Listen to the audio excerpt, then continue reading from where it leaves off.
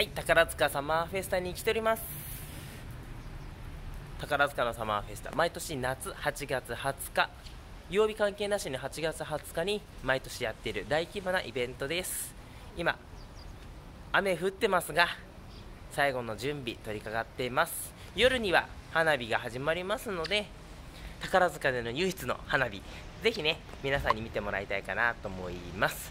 花火でねやっぱり心をね興奮させるリラックスさせるすごく大事です。今日はね私昨日と今日とそして明日と片付けも含めてお祭りを楽しむってことをしております。皆さんは楽しむことやってますか？